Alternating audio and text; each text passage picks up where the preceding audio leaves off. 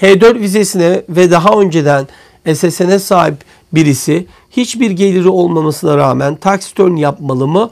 Yoksa sadece H1B vizesi olan eşi mi tax return file etmeli diye takipçimiz bize soruyor. Şimdi şöyle söyleyebilirim. Eğer sizin bir geliriniz yoksa sadece sosyal güvenlik numaranız var diye vergi beyanı verme yükümlülüğünüz olmayacaktır. Dolayısıyla siz bu noktada herhangi bir vergi yükümlülüğüyle karşı karşıya kalmayacaksınız ve tax return'ünüzü yani vergi beyanınızı yapmak zorunda değilsiniz. Tabi aynı anda eşiniz eğer H1B vizesiyle bu return'i yapacaksa vergi beyanını ve sizi de eşi olarak o e, vergi beyanı ekleyeceği için onunla beraber vergi beyanında yer almanızda hiçbir sakınca yoktur ki tavsiyemiz o şekilde olması ve bunun için de siz muhasebecinizle de tabii bunu konuşmanızı tavsiye ederim. Ama sonuçta siz çalışmasanız da eşinizin yaptığı vergi beyanında yer alabilirsiniz.